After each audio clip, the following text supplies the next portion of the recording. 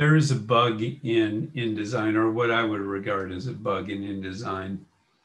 If you look at this paragraph, the leading is all consistent until we get to the very last line.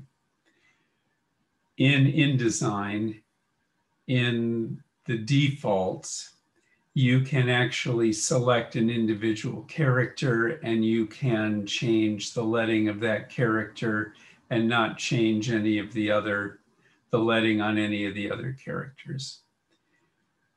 So what ends up happening when we have this last line that doesn't isn't on the same leading is if I select here,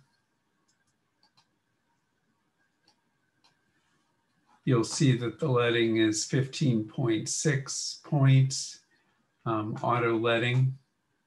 But if I go here, this very last space in the paragraph, it is 20.4 point. So what I would need to do is I would need to select this whole paragraph, go to my leading, make it 15.6.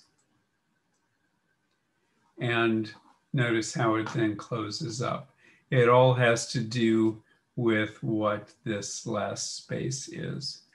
And as a matter of fact, since it was